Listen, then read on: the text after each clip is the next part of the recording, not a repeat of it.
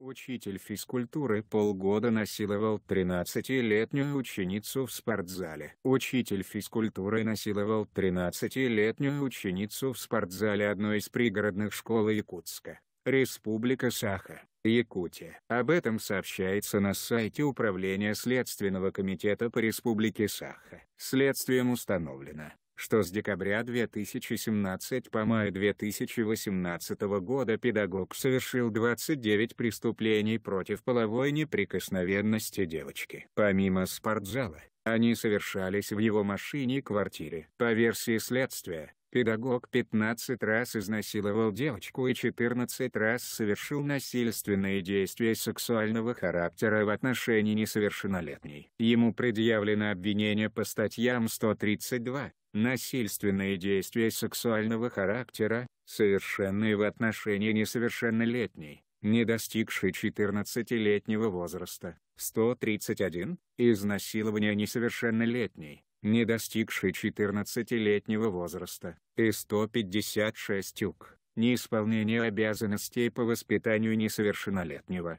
Родители девочки узнали об изнасилованиях, обнаружив переписку с учителем в телефоне дочери.